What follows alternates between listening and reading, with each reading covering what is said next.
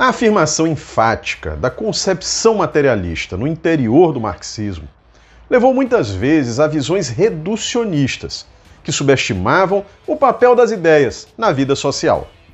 É como se só o mundo da produção econômica material fosse autêntico e ideias, valores, sentimentos e subjetividades fossem elementos secundários. Essa concepção levou a equívocos, inclusive equívocos políticos.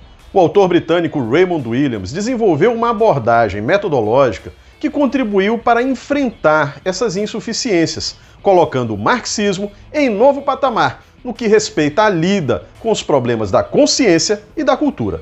A abordagem desenvolvida por Williams se chama materialismo cultural. É dela que vamos falar neste programa e também nos próximos. Para começar, no programa de hoje vamos revisitar as circunstâncias que levaram ao surgimento do materialismo cultural. Eu sou Fábio Palácio e começa agora mais um Cultura e Movimento.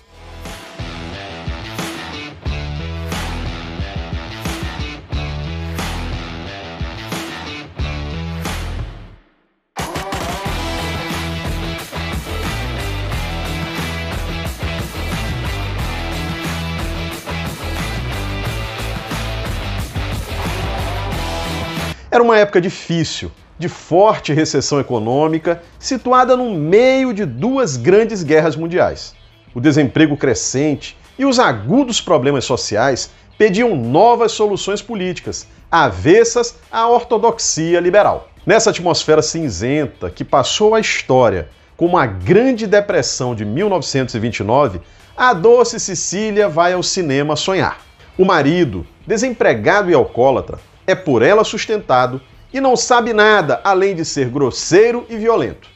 Desiludida com a vida doméstica, Cecília foge da realidade assistindo a seguidas sessões de cinema. Em uma dessas oportunidades, após conferir pela quinta vez um de seus filmes prediletos, ela toma um susto quando vê o protagonista da história, um herói sensível, romântico e galanteador, saltar para fora da tela e lhe oferecer uma nova vida. Essa história é contada no filme A Rosa Púrpura do Cairo, de 1985, do diretor Woody Allen, e fala do período áureo da grande indústria cinematográfica norte-americana. Em face da realidade de fome, desemprego e falta de perspectivas, Hollywood oferecia um mundo de glamour, repleto de divas, cenários idílicos, paixões resplandecentes. Cecília é a personagem arquetípica dessa época ela busca encontrar no cinema um pouco do charme, do encanto que se estilhaçou na vida real. Com seu apelo ao realismo fantástico, o filme de Woody Allen convida à reflexão sobre o lugar da comunicação e da cultura no mundo contemporâneo. Importa aqui para nós não apenas a alegoria mais saliente, o gesto de uma personagem que abandona a realidade em detrimento de uma vida imaginária. Igualmente importante é a reflexão sugerida por um galã de cinema que pula das telas para acompanhar na vida real o sonho de Sicília. Como sugere a Rosa Púrpura do Cairo, no mundo em que vivemos, a instância do imaginário parece invadir a vida real. A cultura adquire, em muitos sentidos, poder constituinte. Habilita-se a exercer poderosa interferência catalisadora sobre as dinâmicas sociais. O termo materialismo cultural diz muito dessa situação que se torna mais nítida com as mudanças na base econômica do capitalismo contemporâneo. Esse turbocapitalismo transita do predomínio da indústria pesada, intensiva em matérias-primas e mão de obra de baixa e média qualificação, para a nova realidade das indústrias criativas, ultraleves, intensivas em conhecimentos e tecnologia. Pensarmos a cultura como uma esfera das ideias, apartada da vida social, ou como mero subproduto da base econômica da sociedade, reflexo passivo de seus interesses materiais. Foi para superar essas formas insuficientes de pensar a cultura que surgiu o materialismo cultural. Ele pode ser definido como uma teoria das especificidades da produção material de cultura e literatura dentro do materialismo histórico. Pelo menos é assim que o define o pensador galês Raymond Williams, o principal nome ligado a essa perspectiva. Sociólogo e teórico da comunicação e da cultura, crítico de arte, contista e romancista, Williams nasceu num vilarejo do país de Gales. Filho de família ferroviária, assentada em áreas rurais, travou contato desde cedo com o movimento operário e os partidos do campo progressista. Manteve vínculos políticos tanto com o Partido Comunista da Grã-Bretanha quanto com o Partido Trabalhista britânico, o Labour. Williams integrou o movimento intelectual denominado New Left, que reuniu segmentos oriundos do Partido Comunista insatisfeitos com o que chamavam de stalinismo, mas igualmente descontentes com a guinada à direita do Partido Trabalhista, com o elitismo da intelectualidade inglesa e com os chamados socialistas fabianos, que advogavam a ascensão da classe trabalhadora por intermédio exclusivo da educação. Em um momento de defensiva do movimento operário, o marxismo britânico se insere, através da New Left, na corrente do chamado marxismo ocidental, marcada pela mudança de ênfase da economia política para a cultura.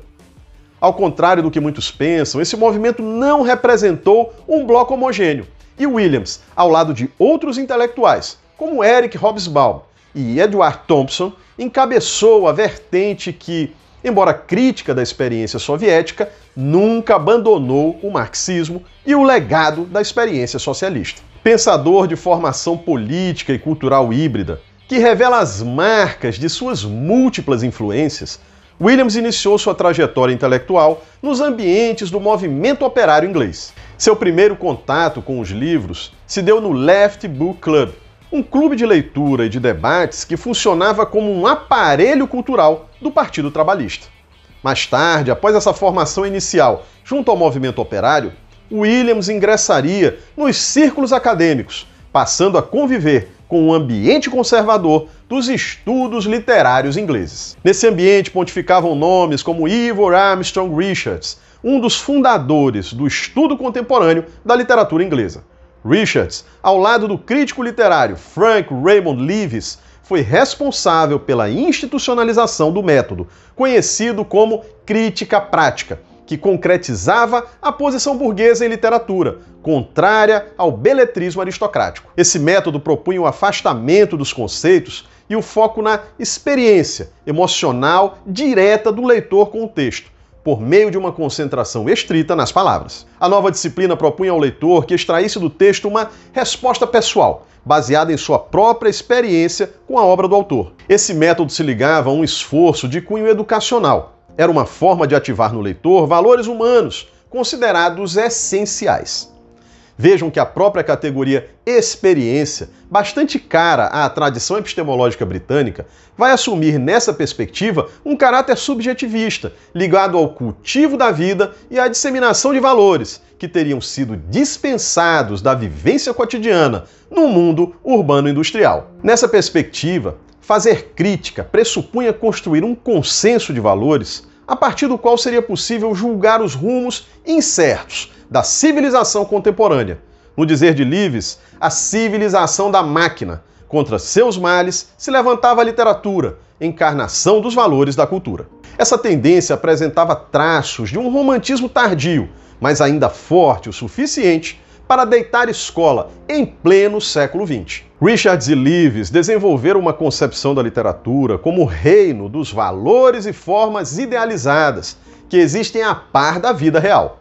Essa visão remete ao mito romântico da comunidade orgânica. A comunidade orgânica é uma sociedade prototípica, plenamente integrada, pertencente a um passado remoto. Ela é a versão arquetípica de uma determinada civilização. Na perspectiva romântica, essa sociedade seria retomada algum dia, mas enquanto isso não acontecia, ela permaneceria viva e acessível apenas por meio dos valores expressos na cultura e nos textos literários.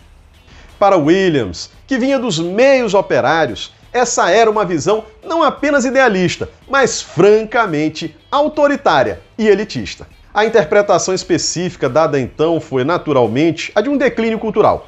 O isolamento radical da minoria crítica foi, nesse sentido, tanto o ponto de partida quanto a conclusão. Mas qualquer teoria do declínio cultural, ou, colocando de forma mais neutra, da crise cultural, adquire, inevitavelmente, uma explicação social mais ampla. Nesse caso, a destruição de uma sociedade orgânica pelo industrialismo e pela civilização de massa. A tradição da crítica prática encontrou no marxismo seu arqui-inimigo. Isso porque a crítica prática propunha uma concentração em valores extraterrenos, dispensados pela sociedade industrial, pretendendo-se a legítima guardiã do que restava de digno na humanidade. Já o marxismo propugnava o contrário, a humanidade genuína se encontrava nas relações econômicas e na realidade incontornável da luta de classes. A luta ideológica entre essas duas visões, a do marxismo e a da crítica literária tradicional, não tardaria a se colocar. Quem venceria essa disputa? Quem sairia derrotado?